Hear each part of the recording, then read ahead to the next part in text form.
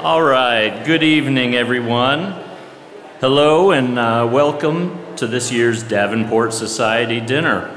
Uh, as our program begins, I invite you to begin eating your salads, please. Uh, my name is Chris Robert, and I'm serving as the interim dean for the Trulaske College of Business.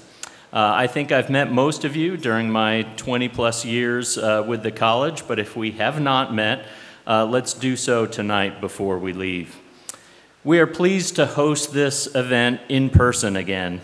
The last time we were able to do so was 2019.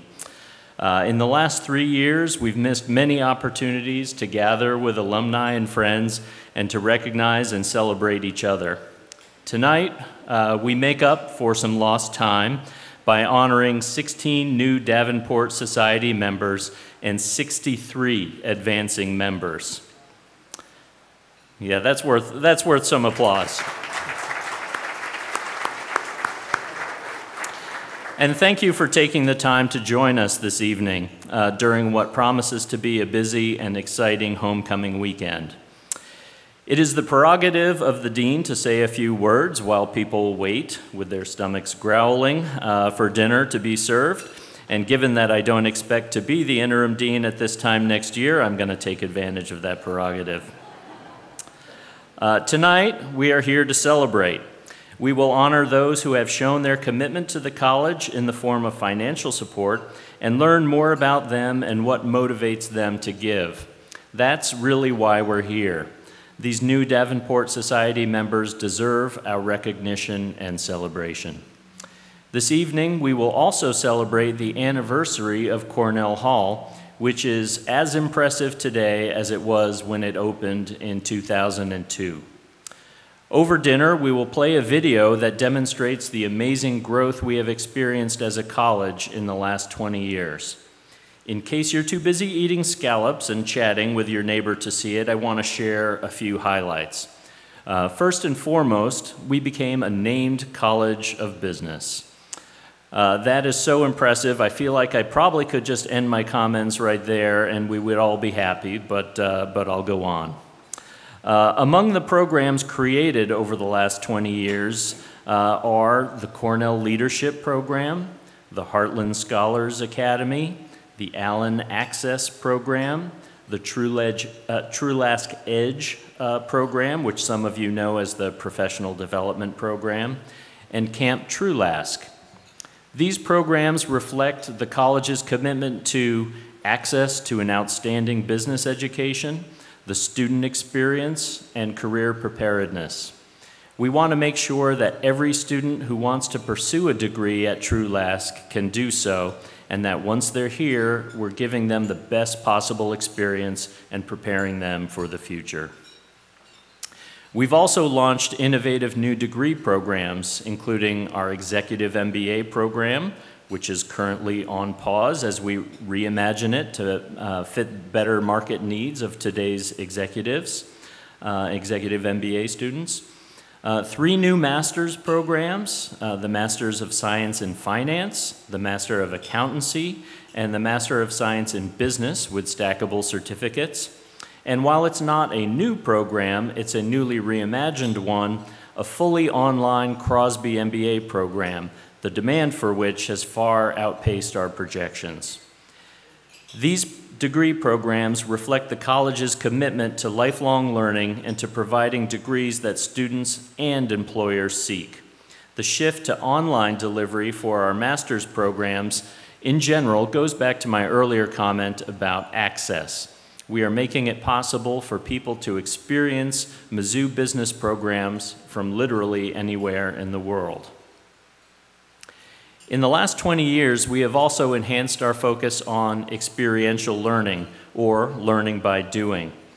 Uh, for example, we've opened a Kaldi's in Cornell Hall that allows students to see the inner workings of business in real time, an innovation space that brings the latest technology into our curriculum, and an inside sales lab that allows students to learn modern sales techniques while providing inside sales support to partner companies. Again, these demonstrate our focus on the student experience and career readiness. A student who has audited the Kaldi's contract or proposed a marketing plan for a new drink launch is going to make an impression in any job interview. These are just a few of the many examples that we could share. And none of these initiatives would be possible without support from alumni and friends like you. You give your financial support and your time, but you also give your ideas, your expertise, and your experience, and your sincere faith in both our mission and our vision. The impact of that cannot be underestimated. These initiatives wouldn't be possible without the support of the Trulaske and Cornell families. Putting your name on something is the truest vote of confidence, and we do not take our responsibility to this lightly. Part of tonight's program will honor Harry Cornell's legacy with the college as we mark the 20th anniversary of our building. We've got some special speakers here tonight uh, to help us do that. Thank you again for joining us this evening, and I would like to now introduce you to this year's Davenport Society Chair, John Zimmerman. John serves as president of Ascent Private Capital Management of U.S. Bank. And as you'll see in the program, he leads a national multifamily office uh, serving over 210 families with an average net worth of $250 million. His career has taken him to Centair Trust Company, Janus Capital Group, Northern Lights Capital Group, and Denver Investments. He's one of our graduates. Uh, he holds an MBA from some other school with a mysterious mascot called a Billiken, uh, and he serves our college as the chair of the Trulaske Dean's Advisory Board. We're grateful for his involvement with the college and proud of his accomplishments as one of our alumni. John, I'll turn it over to you.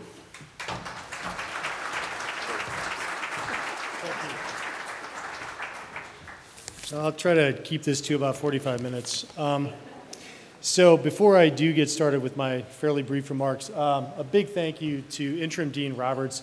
This has been a goofy year with COVID and changing in deans. You've done, Chris, you've done a great job of leading the school, keeping everything. You're a steward, and we really appreciate that. So a round of applause, please. Thank you. So it is great to be here in person. It's great to see everybody in three dimensions as opposed to two on a screen. So as, as Chris mentioned, it's been three years since we've been together since 2019. So welcome everybody. It's, it's great that everybody's here and thank you. Thank you for showing up and supporting Davenport and uh, Trulaske College of Business. Uh, my name is John Zimmerman. I'm a 1985 graduate of the business school. So it's been a long time since I graduated and it's awesome to be back a couple of times a year. Um, I'm very fortunate to be standing here representing both the, the Trulaske Dean's Advisory Board as well as the Davenport Society. So again, on behalf of both of those, welcome. The Davenport Society was founded in 1987 with the express purpose of, of representing an enduring commitment of our alumni and our friends of the Trulaske School of Business and really advancing the cause of our business school. We have 588 members and we have raised over $155 million to support scholarships and programs. So this is a very successful part of the university, and, and our students that we support have, have benefited tremendously from, from what we do. Our investments in the Davenport Society really an investment in our students, in our college, and in our university. But when you really distill it to its essence, an investment in our Davenport Society is an investment in our future. These students that represent, that we represent here, that are here tonight, they represent the future, and we as Davenport Society members unlock their potential and allow them to go into the world, to have successful careers, and positively change the world for the better. So I think this is a great opportunity to really invest in our future. And what I'd like to do is, at this point, recognize the students who are here, the student leaders at the tables. Would you all please stand up?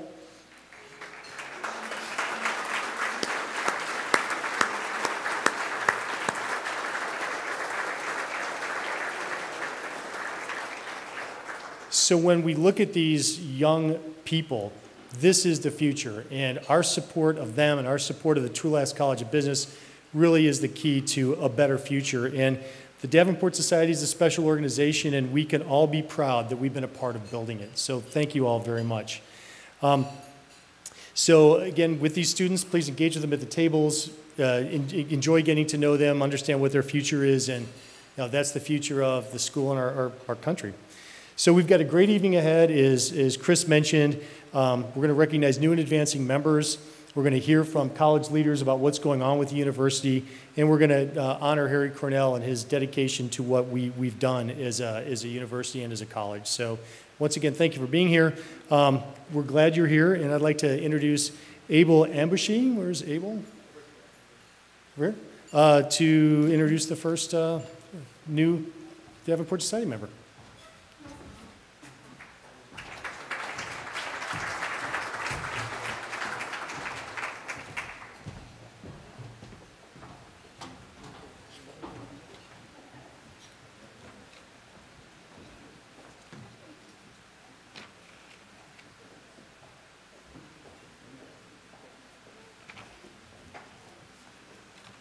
There it is. All right, good evening, everyone. My name is Abel Amnesty. I am a 150 hour accountancy student who will graduate in May of 2025. I'm a member of both the VAC Academy and the Cornell Leadership Program. I serve as the treasurer for the National Association of Black Accountants, and I am a team leader for the Baptist Student Union. And last summer, I had the opportunity to intern with EY uh, in Kansas City. And uh, would you please join me uh, in being able to introduce Joseph and Vera Brandt?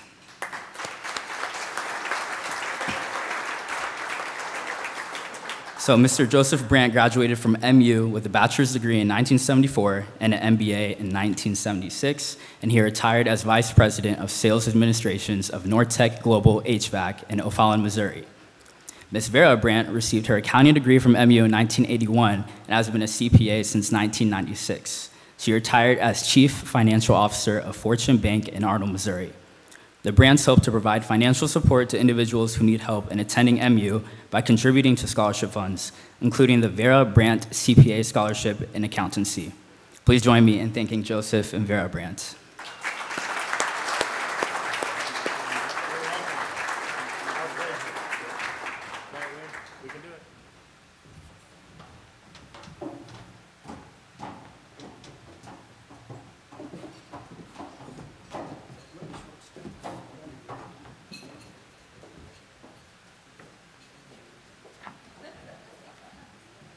Hi, everyone. My name is Mercedes Moravec. I'm a Heartland Scholar pursuing a business degree with an emphasis in marketing. When I graduate next May, I will have completed certificates in both marketing analytics uh, and sales and customer development. I'm active in the Trulaske Student Council um, and most recently served as an intern for General Mills in Scottsdale, Arizona. It is my pleasure to introduce John Brase.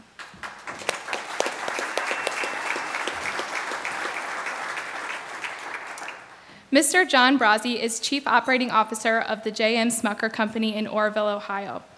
In this role, he has strategic oversight of the U.S. pet food and pet snacks, coffee and consumer foods businesses, as well as the company's away from home operations and supply chain functions. Throughout his 30 year career, Mr. Brase has delivered significant brand and category growth through roles at the Procter & Gamble Company. He is a Mizzou grad, receiving his business degree from our college, as well as an MBA from St. Louis University. Thank you, Mr. Brase, for your generosity to the Heartland Scholars Program.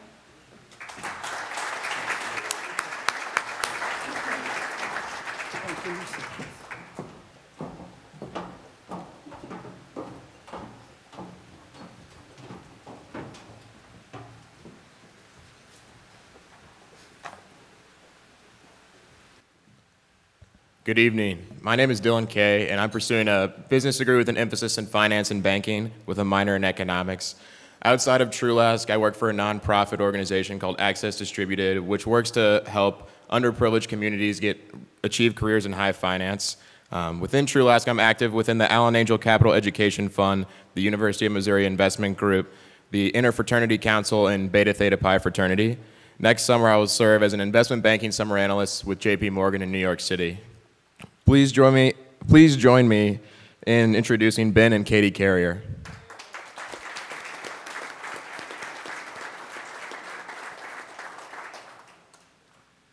Ben and Katie Carrier met at Mizzou in the Cornell Leadership Program in 2009.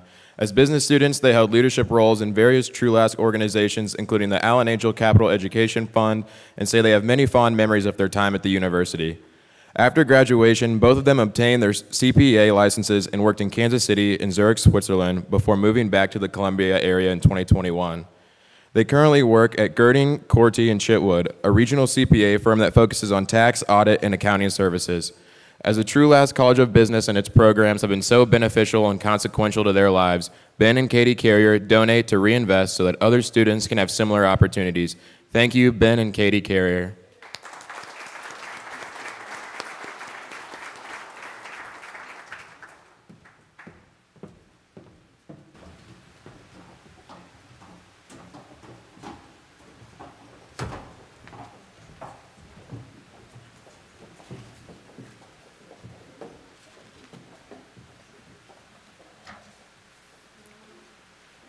Hello, I am Orlando Guerrero, and I am a Heartland Scholar from El Dorado Springs, Missouri. I am pursuing my business degree with an emphasis in marketing and a bachelor's degree in international studies with an emphasis in Spanish, graduating next December. I currently serve on the marketing teams for the Jefferson City Renegades baseball teams and the Murray Kennel Company. It is my pleasure to introduce Melissa and John Hensley.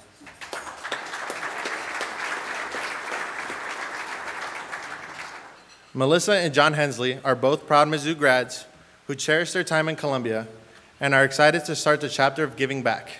When not attending black tie galas, you can see them dragging their four children to any and all Mizzou athletic events. M I Z.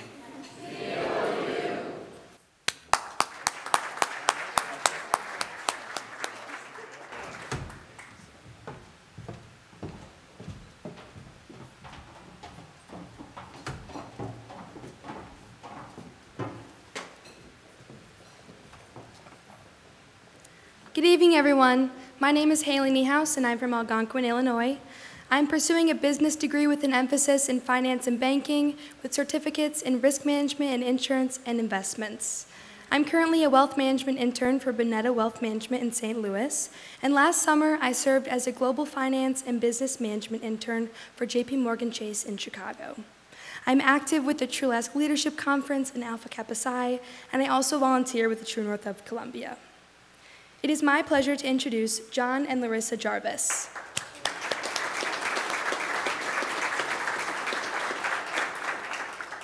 Jonathan Jarvis is a director of corporate strategy within AT&T Operations Finance Organization. In this role, he is responsible for financial reporting and strategic planning, investor relations support, and industry analysis. Prior to joining AT&T, he was a licensed financial advisor and retirement consultant with LPL Financial and JP Morgan. He is also an adjunct professor of finance at Mizzou.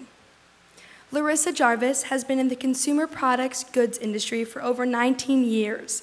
Her tenure with PepsiCo began in 2007 with roles across sales, marketing, and strategy. She currently leads the $1 billion Frito-Lay business with Albertsons Companies. Ms. Jarvis holds degrees from North Carolina State University and completed the Ascent Mastering Management program in association with Dartmouth College's Tuck School of Business. John and Larissa Jarvis's gifts provide financial support to minority business students who display outstanding academic merit and leadership. Welcome to the Davenport Society, John and Larissa Jarvis.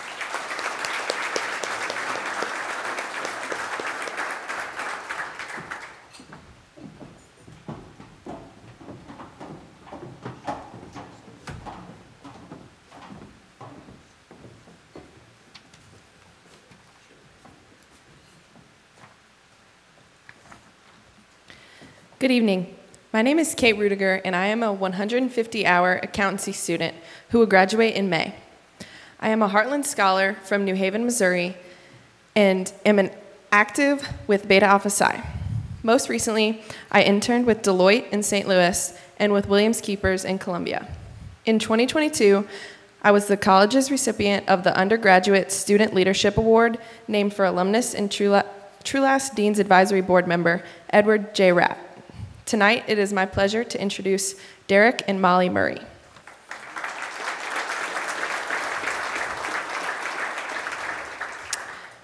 Derek and Molly Murray have supported various Trulaske programs, including the Trulaske Excellence Fund and the School of Accountancy's Data Analytics Program. Their gifts recognize the impact the college has had on their lives and career successes, with the goal of continuing this legacy for generations of students to come. The Murrays have served as members and officers of the college's recent Alumni Advisory Board, of which Molly is currently president. Please join me in thanking Derek and Molly Murray for their support.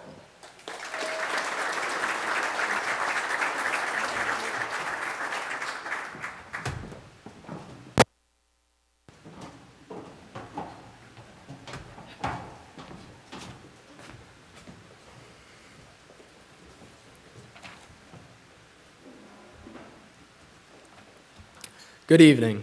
My name is Dylan Stovall, and I am pursuing a business degree with an emphasis in finance and economics. At Trulaske, I'm active with the University of Missouri Investment Group, Allen Angel Capital Education Fund, and the Mizzou Real Estate Club, as well as Delta Tau Delta Fraternity. Most recently, I interned for McCarthy Capital in Omaha, Nebraska, and next summer I will be joining Lincoln International as an investment banking summer analyst in Chicago. It is my pleasure to introduce to you Price Sloan.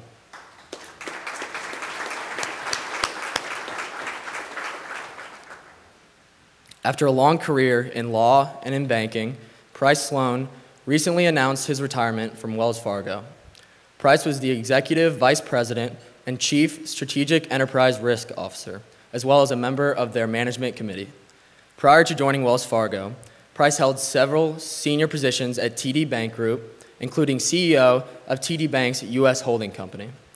Price was also the COO of investment banking at Bank of America, a partner in the law firm known as Husch Blackwell in Kansas City and served as general counsel and corporate secretary of J.C. Nichols Company. Mr. Sloan, on behalf of everyone here, we thank you for your support of the college.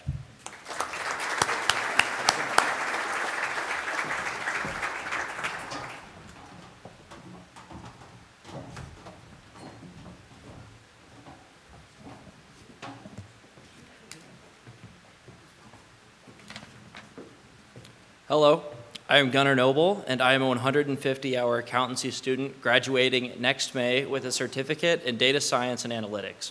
I currently serve as the president of the University of Missouri Investment Group and most recently interned with Will Square Capital in St. Louis and Deloitte in Chicago. It is my pleasure to introduce Thomas and Karen Weaver. Thomas H. Weaver completed a career in the investment management field in 2017, beginning as a bank trust officer managing investment portfolios for the First National Bank of Kansas City, and concluding his career as senior portfolio strategist and risk manager for the hedge fund Eagle Trading Systems. He spent 44 years actively engaged in investment analysis, portfolio management, and strategic applications of investment theory and risk analytics. This career took him across the country, returning to Columbia in 2011. Living in Columbia with his wife, Karen, and their family, the Weavers have embraced, have embraced Mizzou as alumni, fans, and now grandparents of a Mizzou student. They are active supporters of both the College of Education and Human Development and the Trulaske College of Business. Karen serves on the Advancement Committee for Education, while Tom serves as the incoming president of the Finance Advisory Board for Trulaske and as an advisory board member to the University of Missouri Systems Investment Office. We appreciate your contributions, Mr. and Mrs. Weaver. Welcome to the Davenport Society.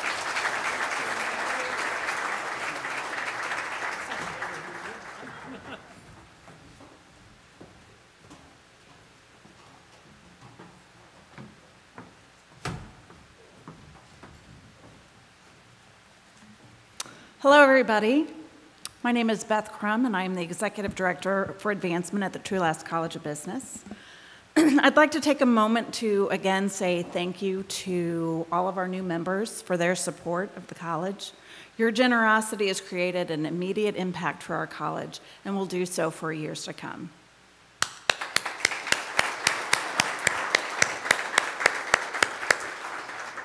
The Davenport Society is a symbol of the enduring commitment of its members to the welfare of the college and to its long term excellence as a leader in business education. Davenport members ensure the college's continued prominence while also guaranteeing that we remain accessible to prospective students as well as providing an outstanding experience for our current students. Tonight, in addition to inducting our new members, we want to take a moment to recognize the existing members who have increased their level of giving and continue their commitment to Mizzou. Advancing membership in the Davenport Society is a vote of confidence in what we do at Trulaske, that we are doing the right things at the right time in the right way. These donors' ongoing support of the college enables us to pursue new opportunities that otherwise might not be possible. We have three of our advancing members in attendance with us this evening. Would you please stand as I call your name and remain standing? Chuck Hutchins and Nancy Hutchins.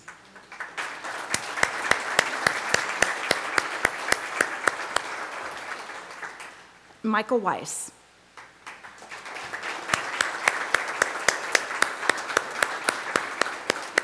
Thank you, Chuck, Nancy, and Mike. During our centennial celebration in 2014, we launched a new initiative called the 1914 Society, which recognizes those donors who choose to support the college through planned gifts. Whether it's funding a new program, endowing a scholarship, or naming a faculty position, legacy gifts are a wonderful way to make those opportunities possible. These commitments will ensure that the next hundred years of business are about sustained growth and achievement. Would our 1914 Society members in attendance please stand and be recognized?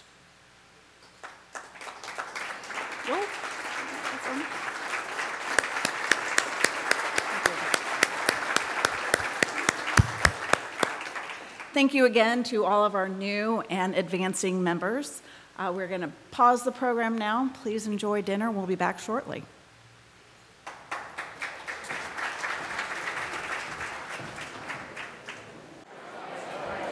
All right. I hope everybody's been enjoying their dinner, and, and please continue eating uh, as our program continues here tonight. Uh, as we finish our meal, I'd like to thank tonight's staff here at the atrium on 10th. Let's give them a round of applause, please. As I mentioned earlier, tonight we celebrate the induction of our newest and advancing Davenport Society members, and we are also celebrating the 20th anniversary of Cornell Hall. I hope you had an opportunity to see the slideshow we played over dinner. Uh, this highlighted some of the amazing programs and initiatives that we have undertaken in the last 20 years. You may have noticed that one of the slides noted something that Dean Bruce Walker said during the ribbon cutting from the building uh, in, in 2002. He said, Cornell Hall will help the college achieve two priorities expanding and strengthening its Master's in Business Administration program and increasing the use of information technology in instruction. Our building has done that and so much more. As you know, the east side of the building has Cornell Hall etched in stone near the stairs. This serves as a daily reminder of the man for whom the building is named, Harry M. Cornell, Jr. Harry passed away in May after a long and amazing life. The company he raised into a Fortune 500 giant, Leggett and Platt, says that he leaves a legacy of honesty and commitment that defines the company culture to this day. We have some special speakers here tonight uh, Dean Emeritus Bruce Walker, uh, Cornell Leadership Program alumna Lindsay Mullenger, and CLP Director Mary Beth Marrs to talk about Cornell and the impact at Mizzou. So I'd like to ask Bruce to join me on stage. Uh, Bruce was the Dean of the Business School for 20 years, and you won't find a bigger champion for our college than him. His tenure as Dean included the construction and naming of Cornell Hall, as well as the naming of the college, uh, meaning that the most transformational activities for our college in recent memory happened under his leadership. Uh, Bruce asked me to tell you that he's going to comment on Elon Musk, Winston Churchill, Alice Walton, and Harry Cornell. And I'm not sure how he's going to tie them together, but I'm sure this will be good. Bruce?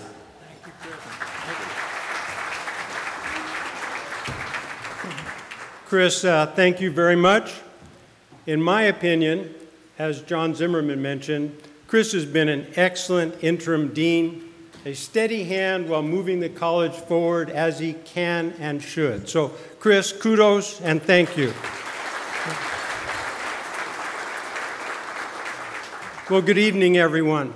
My role, it's really an honor, it's a joy, is to talk about Harry Cornell as a great leader in business, in his community, and fortunately for us, on behalf of our business school.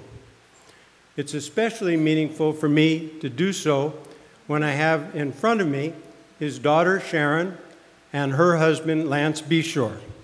Uh, thank you for being here, Sharon and Lance.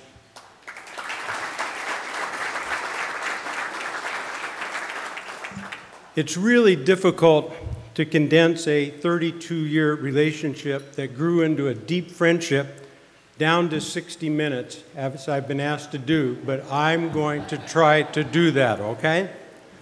Well, the slideshow gave you glimpses of Harry Cornell. For those of you who may not know Harry's background, let me provide just some brief bio notes. Harry graduated from MU's Business School in 1950. He then went to work in sales for Leggett and Platt, the company co-founded by his grandfather in Carthage, Missouri. He took on increasingly important roles at Leggett and Platt, eventually serving as the company's CEO for only four decades. Harry led, as Chris said, Harry led Leggett and Platt to become the world's largest furniture and bedding components manufacturer and supplier, and a Fortune 500 company. He concluded his tenure at Leggett and Platt as chairman emeritus, retiring in 2008. And this is a picture of the college's advisory board, then called the Strategic Development Board, back in 2001. Yes, spring. Mr. Cornell, as you can see, I don't know how he wound up front and center down there, so as it should be. I also noticed that they stuck me way back there, so everything's appropriate, right? So, well, tonight we salute Harry Cornell, the leader. Recently, I've been thinking a lot about leaders. Truly, people here this evening, including current and future leaders. And also, Chris, unless you've changed your mind and you're interested in the quote unquote permanent position. Yes? Oh, okay. also looking ahead with optimism to the appointment of a so called permanent leader for the Trulaske College of Business. So, as the title of my talk suggests, I've been thinking about other disparate leaders as well. As odd as it may seem, which Chris reinforced, I'm going to pay tribute to Harry in relation to Elon Musk, Winston Churchill, and Alice Walton. Okay, bear with me. So let's begin with Elon Musk, who is in the news more than anyone. Well, not more than past or current government leaders, not more than the Kardashians, and certainly not more than Kanye West. But, you know, most everybody, he's in the news more than that. So, why'd I choose Musk? Last week I had the pleasure of moderating a case study discussion for the freshmen in the Cornell Leadership Program about Tesla and its leader. Okay? Of course, there are far more dissimilarities between Musk and Harry, such as temperament and the way to treat colleagues and employees. But we'll move past that. Are there any similarities between Musk and Harry? Surprisingly, there are. First, I think, would be a strong conviction about and a passion for their company and their products. You have to believe. Right? And I think both exhibited that. Second would be a belief in the importance of innovation and being market leaders. You have to stay ahead. Third would be creating a sense of urgency in all that you do and in your company. Let me give you an example involving our college. In 2005, Mary Beth Marrs and I conceptualized a leadership focused program for high ability undergraduates. How many alumni of the CLP are here tonight? Well, we're students. We've got Ben and Katie. I know they're okay. We've got some. wonderful program. Well, as with much of what a college does, Chris can confirm this, we needed a substantial donation to supplement state, state funding to make this proposal a reality. Thankfully, in spring 2006, Harry agreed to fund the program startup. He then said, Mary Beth, you'll have this program running in the fall, right? And that's how you create urgency. And to Mary Beth's credit, she accepted the challenge, and indeed, it was running in fall 2006. So thank you, Mary Beth.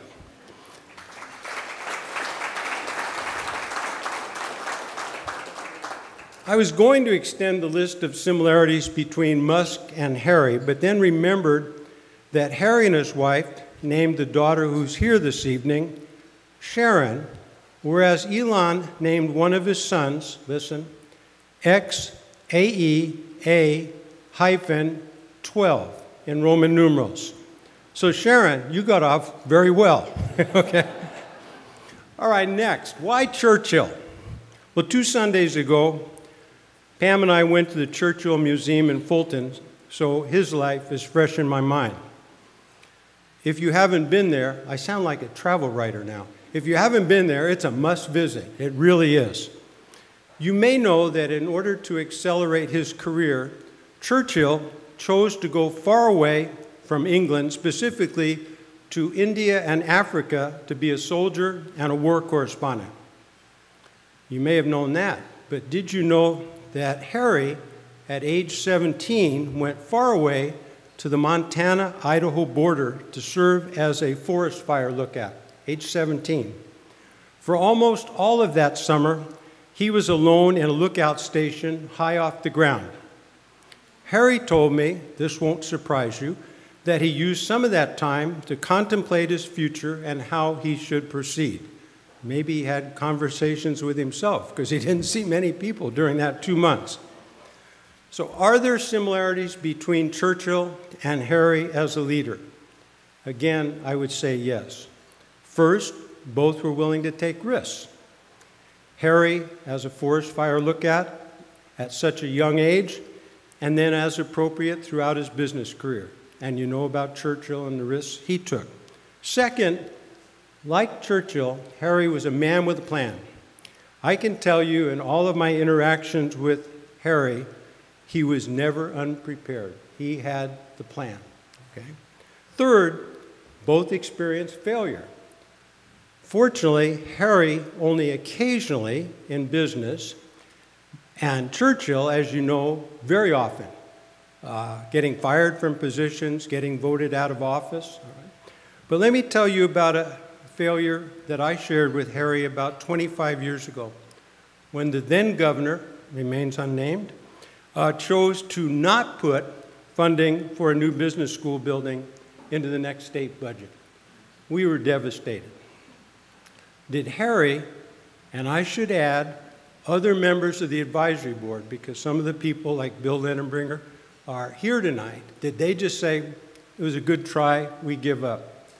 No, uh, although Harry and the governor at that time did not share the same political views, and that's an understatement, uh, Harry was still able to secure a face to face meeting between himself, three business school alumni, myself, the governor, and the governor's chief of staff. Well, you know the outcome. Remember, Harry began his career in sales. He had very good sales skills. It took us a couple years, but we got the governor's attention and he committed to it. By the way, an irony is that Cornell Hall is located adjacent to the quadrangle that was subsequently named in honor of that governor. So there they are, all right? Finally, why Alice Walton? I was reminded of her when Pam and I were in Bentonville Bentonville, Arkansas, two weeks ago. As you know, Alice is one of four children of Sam and Helen Walton. You may think of his biggest accomplishment being the founder of Walmart, headquarters in Bentonville. We like to think it was that he was a graduate of Mizzou's Business School. All right? Well, Alice staffed the popcorn stand at the first Walmart store, if I recall the history correctly. I know she worked for Walmart as a buyer, established an investment banking firm, and eventually, because of Walmart and her own business interests, became very, very wealthy. She could then lead the good life, indeed, the very good life. But instead, Alice devoted herself to philanthropy. Specifically, she decided to bring great art to Northwest Arkansas and the surrounding area. Alice founded, and through the Walton Family Foundation, funded the Crystal Bridges Museum of American Art in Bentonville. It's truly incredible. Another must visit for you if you haven't been there. Are there similarities between Alice and Harry? Definitely yes. First, having met with Alice several times, I knew that she, like Harry, did not feel the need to speak often, but when either did, people listened. On our first visit to Crystal Bridges, uh, Alice came walking in unaccompanied, sat down at a table in the open space restaurant with about 15 to 20 very energetic, very talkative young people, average age under 30. As soon as she started speaking, everyone at the table was quiet and the group listened attentively. Turning to Harry, at one or two points during every meeting of the college's advisory board, Harry would say, Bruce, can I speak for a moment? I didn't last 20 years as dean by saying, no, we've got an agenda to follow. So I said, of course. And other energetic members of the advisory board quieted down and listened attentively to Harry and seldom, if ever, disagreed. Remember what I said? Harry always had a plan, and he had documentation for it. At perhaps the second meeting of the advisory board, 1991, the need for better facilities for the business school was discussed extensively. Uh, finally, Harry said something along the lines of, Well, fellow board members, we could renovate Middlebush Hall. That would improve some things. Or, better yet, we could maybe add an addition out there in that open space behind the building, or we could commit to a new state of the art building. You know what happened. That set the course for the college for the next 10 years.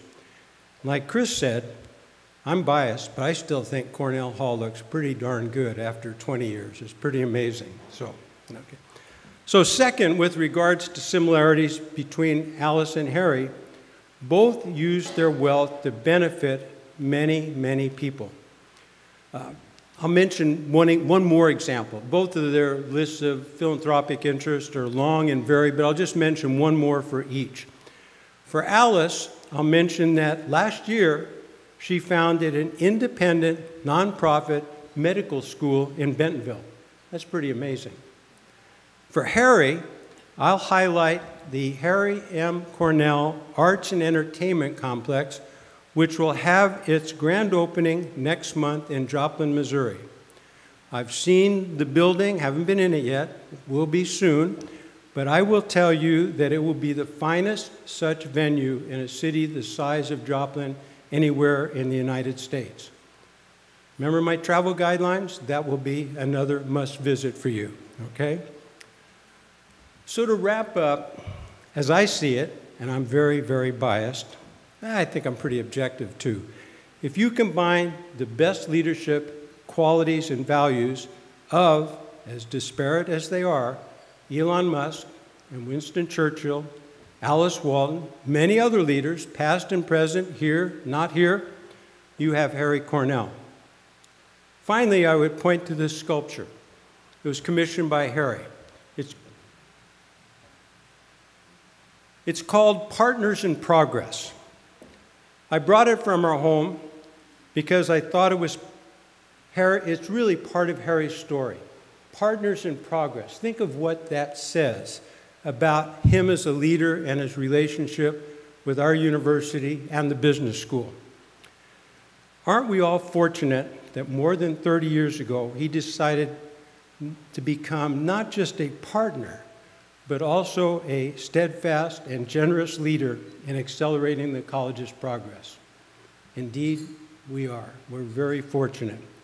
Well, before I get more emotional, I'm going to say thank you for listening to me talk about Harry Cornell, our college's benefactor, a wonderful, wonderful gentleman, Pam's and my dear friend, and a truly great leader. Thank you.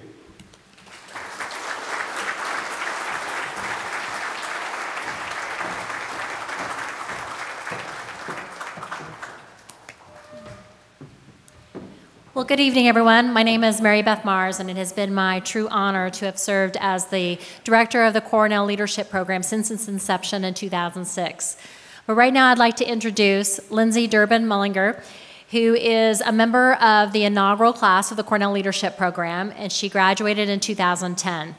Upon graduation, she um, embarked on a career at Procter & Gamble and then to Duracell, and most recently, while raising four little girls under the age of five, she, in 2020, launched a Petite Keep, which is a startup e commerce keepsake traditions company. So we're very proud of her, and she's going to come and share some thoughts about CLP. Thank you.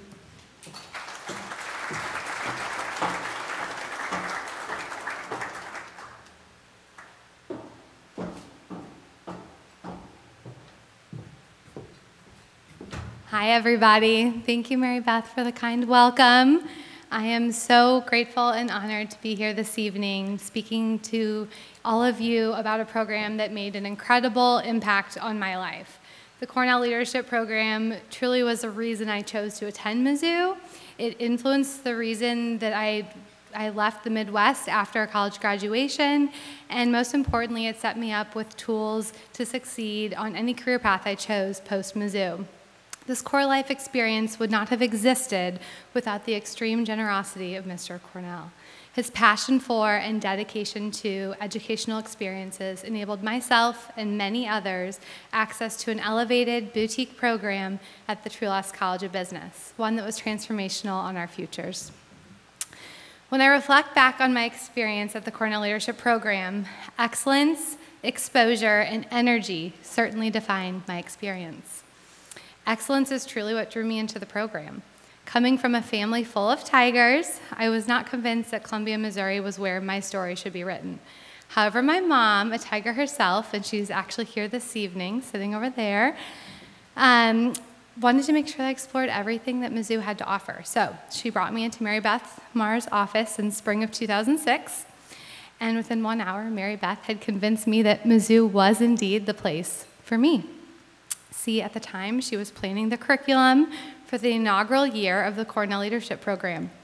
There would be executive luncheons, there would be corporate visits across the country, there would be case study driven coursework, and most importantly, it would be tailored to the top 2% of students. I was hooked. Not only did the program demand excellence for admittance, but it infused the theme throughout our four years. And when you're surrounded by type A driven personalities, you're motivated to be the same. Next was exposure. I'm a firm believer that you can only dream what you can visualize. As a child who grew up in a hardworking Midwestern family, I had the right work ethic and grit to succeed. But I had never been to New York City, I had never been exposed to hedge funds in the world of finance, and quite honestly, had never even populated in my mind as an option for a career path. In my third year of the program, I found myself in New York City for the very first time because of the Cornell Leadership Program. I was exposed to industries and conversations that influenced my career trajectory, and this was all because of the generosity of Mr. Cornell. Finally, the Cornell Leadership Program infused an energy in our cohort an energy of curiosity, an energy of knowledge, and an energy to experience new things.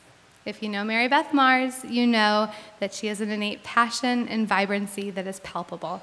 She led our CLP class, and she lit a fire in each one of us to go out and do better, whether that was in marketing, in finance, in New York, or Texas. We graduated the CLP program with an insatiable energy for wanting to succeed, however we defined that. As I reflect back on my time in the Cornell Leadership Program and the core life experiences it provided, I honestly am in awe at the experiences that Mr. Cornell's kindness put into motion. I recently read a poem by Rupi Kaur that sums up Mr. Cornell's generosity. Our work should equip the next generation to outdo us in every field. This is the legacy we'll leave behind. Thank you.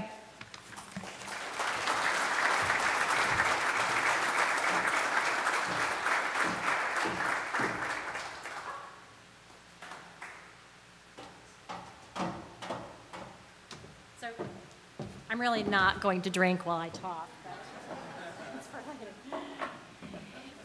So, you know, I had the good fortune to know Harry since about 2005, and over the years, I'm really proud to say that he became a dear friend and mentor to me. Few people in this world can say they left a legacy, but Harry did. Yesterday, we honored that legacy as a group of current students, alumni, family members, and others gathered as we dedicated a tree outside of Cornell Hall in his memory. It was a beautiful day and an even more beautiful way for our CLP alumni to, to establish a symbol and a reminder for all that Harry had done for the Cornell Leadership Program. As Bruce mentioned, back in early 2006, Harry committed to helping us build a program that would be the reason why the best and brightest students in Missouri would want to stay in Missouri. And these students since then have had the opportunity, much with the help of many alumni in this room, to travel to locations such as New York City, Dallas, Denver, Cuba, Panama, to learn about business firsthand from CEOs and other leaders across a range of industries. In fact, just last week, we were in New York City and we visited with executives from 11 different industries. We walked the floor of the New York Stock Exchange. Students job shadowed at various firms on Wall Street, and then we got to take in a Broadway show. You know, and as hard as we can try as faculty in the classroom to kind of replicate that business world, you just can't do that. There's some things we can't do in the classroom, and this is where CLP and other programs come into play. Our students learn, that CL, learn from CLP alumni and other Trulaske alumni about how do you raise 20 billion for a new fund when you're the principal for investor relations at a private equity firm. They learned how a hedge firm values a company when making acquisition decisions and what it takes to make it on Wall Street as a young professional. We also talked with alumni about the challenges of starting up a new company and surviving a pandemic along the way. And most importantly, our students learned the value of the Trulaske family. They learned that whenever we gather in one place in New York City, and they gathered and learned and had the excitement of all this alumni and all this energy in one room together and in one space. It was very special, and many thanks to the Aslan family for making that happen. But as wonderful as New York City and these other trips are, my favorite trip always is to Leggett and Platt's headquarters, and I want to tell you why. So, this is the trip where students have the opportunity to hear firsthand from CEOs or former CEOs like Dave Haffner and Karl Glassman and CFO Matt Flanigan about Harry and about how Harry had impacted them personally, how he had mentored them, how his leadership had inspired them, and that they were better leaders because of Harry. This is what is so important to me, in my opinion, because students need to know what kind of leader Harry was and the impact he had on others and to know we had just as high expectations for them as well. And again, experiences such as these simply wouldn't be possible without Harry's vision. So, you know, Bruce talked about that Harry was always prepared, he always had a plan. He always wanted the data. So, I'm going to share a little data with you. Over 500 students impacted, now living in 33 states and five countries. It used to be six until the Carriers moved back. Eight married CLP couples, my daughter tells me that's a little strange, but I always like to share that. Who now have six CLP babies. Yes, they will be legacy admits to the CLP. We've had 14 trips to New York City, and I've lost no one on a subway yet. We've had over 20 in state corporate trips, soon to be eight trips to Leggett and Platt. We've had seven service trips to locations such as Nicaragua, Costa Rica, Panama, and other places. And also, by the way, if you ever want to know how to build a portable chicken coop, my students can help you with that. We've also traveled and engaged with business leaders in Denver, Dallas 11 times, been to Cuba twice, Chile, and Ireland as well. And the statistic that scares me the most is how many hours I have spent on a charter bus driving to these locations. But we also had a lot of fun along the way. We had some really priceless non business memories created. How many of you can say you've ever slid, slid down the side of an active volcano? Yeah, don't tell risk management about that one. but being stranded in Tennessee in a snowstorm, we got stuck in an elevator in Denver for 30 minutes. And then we also had a chance to learn great lessons from people such as Jamie Dimon and Pete Kors, and of course, Harry himself. But what's really remarkable is that Harry's legacy lives on through all students who grace the halls of Cornell Hall. These students carry on the vision that Harry set for the college that we needed to grow our own leaders in Missouri by keeping the best and brightest in Missouri to attend the Trulaske College of Business, to develop strong business leaders from Missouri for the benefit of Missouri by building businesses in Missouri. Leaders like Lindsay Mullenger, whom you heard from earlier, Leaders like Kelsey Meyer Raymond, who's grown a company here locally into a national powerhouse and is now investing in other startups to grow jobs in Missouri. Katie and Ben Carrier, who left corporate America to take over eventually an accounting practice in central Missouri. And leaders like Trish Zimmer Ferguson, who was a student in college. She spoke at the dedication of Cornell Hall, and she understood even at that point the impact that Cornell Hall and the college could have on her. And these students and alumni carry with them the example that Harry set for them for being a leader of integrity, for doing the right thing always, for giving back and lending a hand to others, trying to follow in their footsteps. And I know Harry is proud of all of his students that he helped create these extraordinary opportunities for within the halls of Cornell Hall. So back in 2015, we celebrated the endowment gift from Harry. And at that event, he gave each student one of these. And on it, it says, The joy of a gift is in its giving.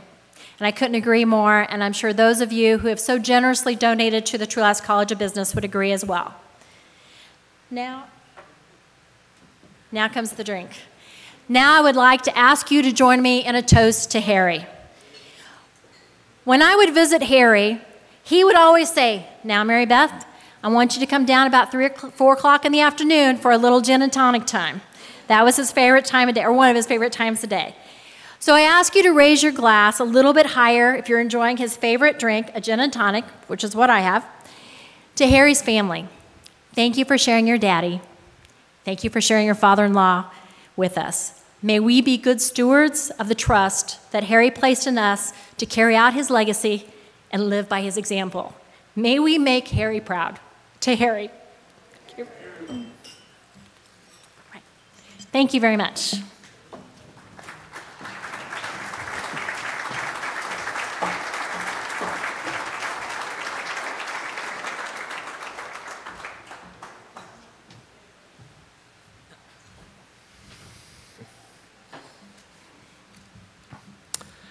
Bruce, Lindsay, and Mary Beth, thank you for your heartfelt words about Harry's legacy.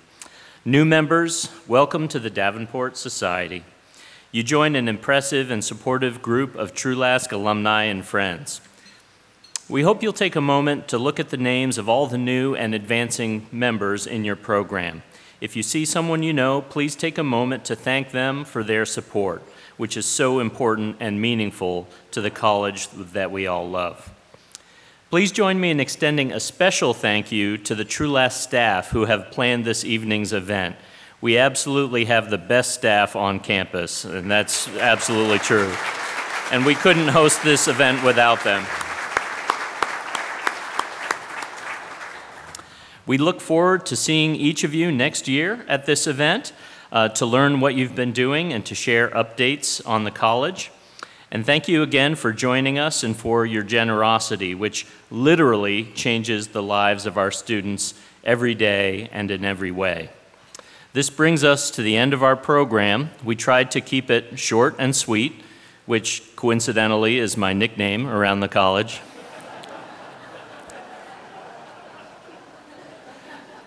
Have a great homecoming weekend. Thank you.